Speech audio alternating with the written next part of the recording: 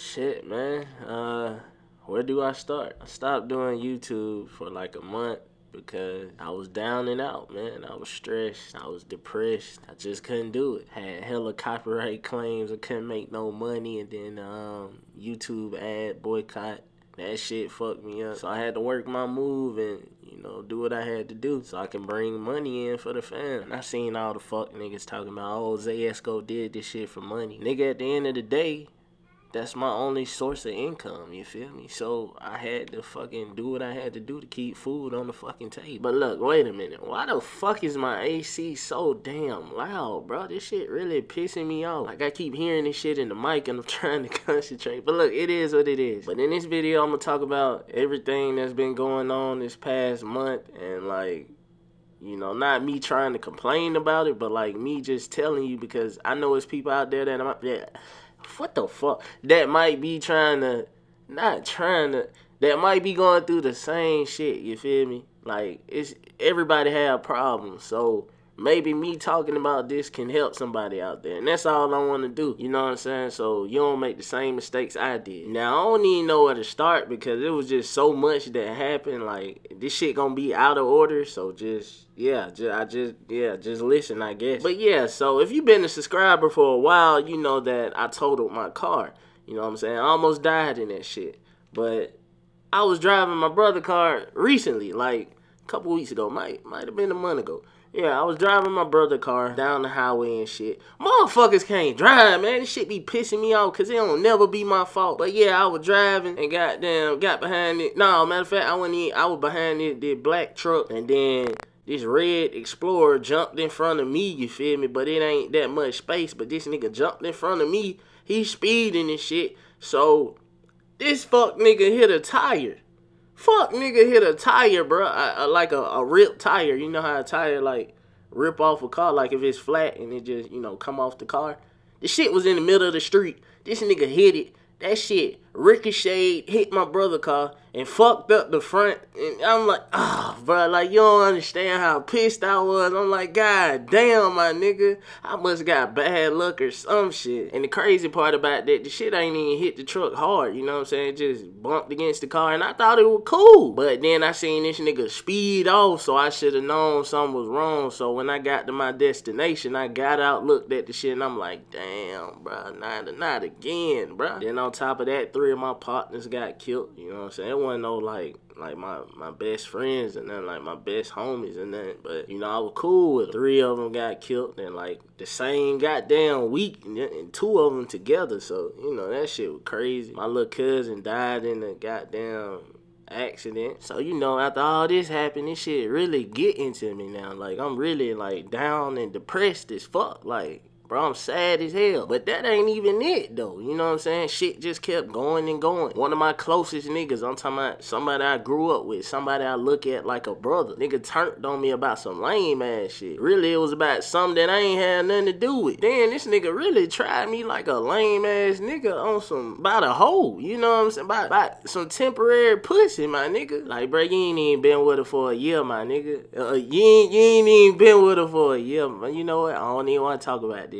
I'm gonna let it go. I'm just in my feelings right now because that shit hurt. You feel me? It, it really did hurt. But at the end of the day, it ain't no beef.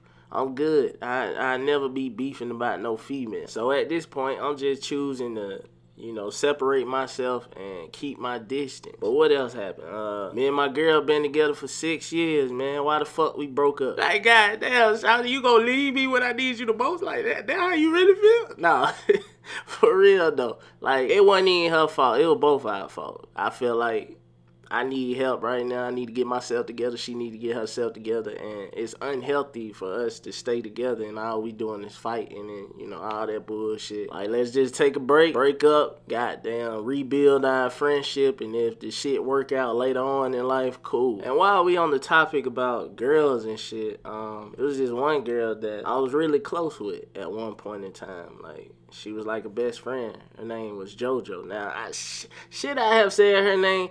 Probably not. But yeah, her name was JoJo, and um, I don't know, man. Like we ain't talked in a while, and uh, shit, really deep. It, it's it, it's really a long story, but shit, we got time, and if you want to listen, hey, be my guest, and you know, stay on the video. But um, I met her in high school. Uh, me and my bro was in the gym, and she was sitting alone, and I went over there to talk to her, and after that, we got cool. She was cool as fuck beautiful. Like just had the most amazing personality, bro. Like I could sit here and like for real chill with her all day without any bullshit, no drama, no none of that. You feel me? So skip ahead. Um, I got in a relationship with the girl that is now my baby mom, and what had happened was she got pregnant. You know what I'm saying? We still in high school, and my baby mama got pregnant. And when my best friend JoJo found out, she started distancing herself and like, you know, shit started changing. But I end up just moving on with life and, you know, eventually I fell in love with my baby moms and, you know, I made it work. But then I realized like, damn, like I, I really missed this girl. So this year I had got the courage to um, finally hit her up after all these years, and I gave her my number, and she texted me. You know what I'm saying? She hit me up, and I just told her how I felt, and I guess like I was too late. I guess you know what I'm saying? I really hurt her, and all I wanted was a friendship. You know what I'm saying? I wasn't even looking for a relationship right now, cause after being with somebody for six years, you know, that take a toll on you. You know, I guess I really hurt her. She told my brother that she don't fuck with me. She told him she don't even want me in her life no more. And, you know, that shit hurt. Shit hurt like a motherfucker. But this the real world, man. In reality, you don't always get them fairy tale endings like in movies and shit. You know, sometimes when you hurt people, they give up. And that's what she did. She said she felt like I should have been said something. And the last thing I'm gonna talk about in this video because like I'm slick breaking down right now. Um, I tried to commit suicide. I've been going through a lot, and you know most of the shit I won't even talk about on this video because it's just been so much. But yeah, I tried to kill myself and. It was a cowardly thing to even, you know, try. I just didn't want to feel pain anymore. But I realized, like, I'm here for a reason. You know what I'm saying? I done had shit happen to me in my life that I could have been got killed on some dumb shit, you feel me? And for me to just try to kill myself, it was on some pushy shit. But, you know, I stopped myself because I realized, like, hey, I got more to live for. I got a daughter, man. I can't leave her here alone. Oh, man. Um, and yesterday, my mom had to go to the doctor, and when she got back, she told me that the doctor found some in her breast and they think it might be breast cancer, but we don't know for sure.